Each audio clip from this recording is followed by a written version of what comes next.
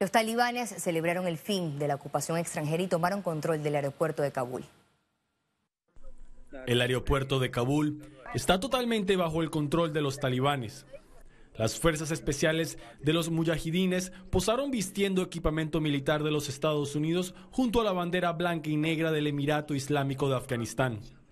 El nuevo gobierno talibán ahora controla un arsenal mayor al arsenal militar de 160 países en el mundo.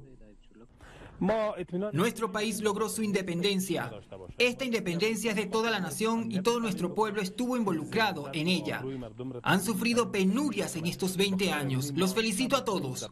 Primero quiero agradecer a Dios que nos otorgó esta misericordia. Y luego agradecer a los mujahidines y a las personas que han estado involucradas en este movimiento y han hecho sacrificios. La capital, Kabul, amaneció con una insólita normalidad. La preocupación de los transeúntes se centró en las oportunidades económicas. El gobierno afgano contaba con reservas de más de 10 mil millones de dólares en monedas extranjeras y mil millones de dólares en oro. Sin embargo, el gobierno de los Estados Unidos congeló el acceso a los talibanes.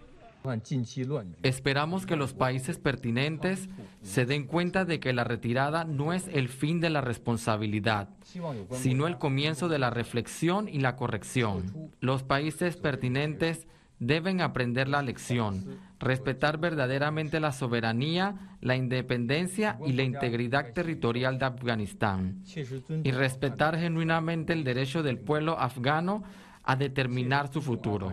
El gobierno chino, desde el seno de las Naciones Unidas, urgió a las potencias de Occidente a levantar las sanciones económicas para normalizar la relación con el nuevo gobierno de Afganistán. Para Econews, Luis Eduardo Martínez.